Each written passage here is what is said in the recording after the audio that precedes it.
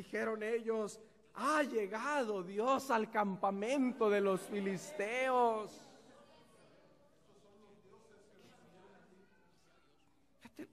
Miraban como a un Dios, que no era Dios. Nosotros entonamos una alabanza y nos incita esa alabanza. Gózate, iglesia santa. Tu lumbre, ¿qué cosa? Podríamos decir, tu Dios ha llegado. Retiemblen hoy los falsos. A ver si. Así como temblaron los filisteos. Retiemblen hoy los falsos. Porque han destruido los caminos del Señor. Pero ha llegado un libertador. Ha llegado un salvador. ¿Qué debe de haber entonces, hermanos?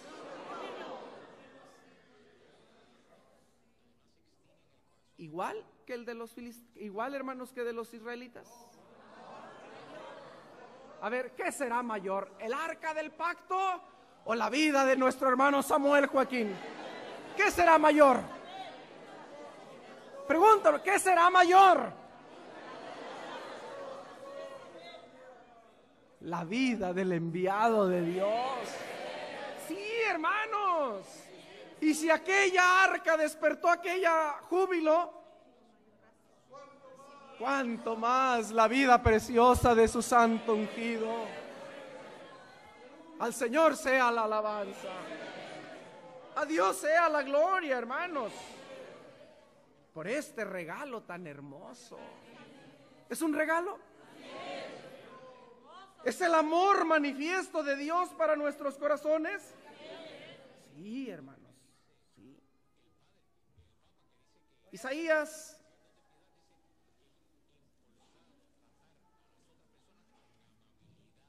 capítulo 9. Veamos lo que el hombre de Dios, hermanos, interpreta y dice al respecto de estas cosas. Isaías capítulo 9, si algún hermano lo encuentra, versículo 6, para la gloria del Señor. Porque un niño nos es nacido, hijo nos es dado, y el principado sobre su, nom- sobre su hombro, y se llamará su nombre admirable, consejero, Dios fuerte, Padre eterno, príncipe de paz. Gloria al Señor. Fíjate cómo está interpretando, hermanos, el Espíritu de Dios aquí. Niño nos es qué cosa? Nacido. Hijo nos es. A ver, ¿qué es? Un regalo. Hijo nos es qué? Hijo nos es dado. Es un regalo. ¿Qué regalo hemos recibido cada uno de nosotros? Se llamará su nombre admirable. A ver, hermanos, entremos en detalles. ¿Quién está dando estos títulos y estos nombres? Dios. ¿Cómo se llamará? Admirable. ¿Por qué admirable? Por sus proezas, por sus maravillas, por su singularidad. ¿Por su qué? No hay otro como Él en todo el mundo. Por eso es como decimos, admirable, único, especial. Qué exagerados son, la son- qué exagerados son los miembros de la luz del mundo. No hayan qué hacer y no hayan en dónde poner al su- a su dirigente. ¿A nosotros? A ver, hermanos, ¿somos nosotros?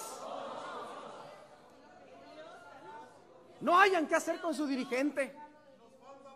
Lo ponen aquí y dicen que es esto y dicen que es para allá y, y- y lo festejan con unos banquetazos y unas fiestas tan enormes. A ver, ¿somos nosotros?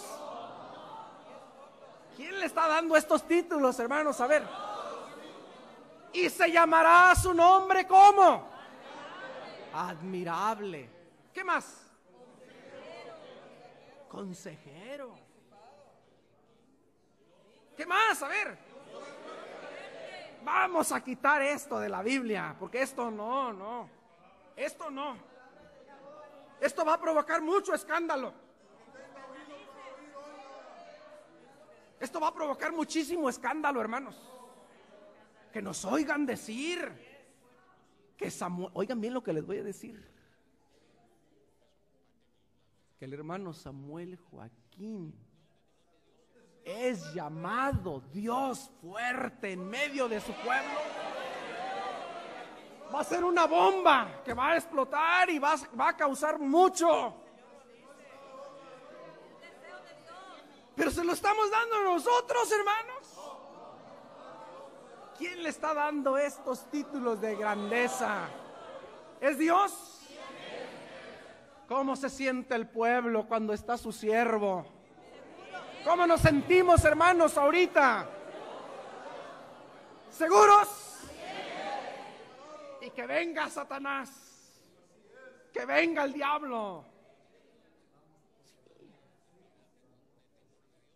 Oía yo, hermanos, a mi esposa el otro día que le decía oh, a, mi muchacha, ay mamá, fíjate que pues he tenido pesadillas en la noche y, pues siento que, que Satanás y que el diablo, hija, haz oración, dobla tu rodilla y dile a Satanás, hay un varón de Dios aquí en la tierra, Él es mi escudo.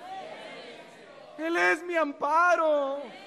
Él es el que me cuida. Él es el que me guía. Y Satanás huye. Y Satanás se va. Porque Satanás sabe quién es Samuel Joaquín. Sí, hermanos. Sí. ¿Quién es él? Dios fuerte en medio de su pueblo. A ver, hermanos, emitimos esta, esta frase de la Biblia?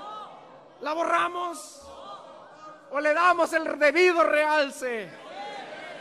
Samuel Joaquín, la gloria de Dios y la buena voluntad para los hombres. Qué hermosa es la palabra de Dios. Qué hermoso es, hermanos, descubrir las, las, las proezas de Dios para su santo pueblo.